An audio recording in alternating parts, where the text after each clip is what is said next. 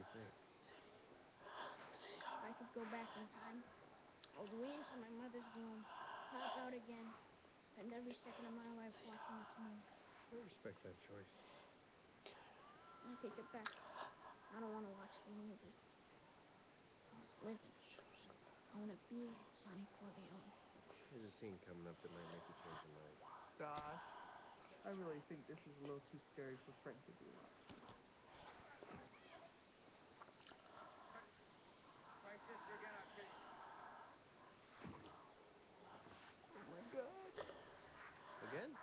Her up.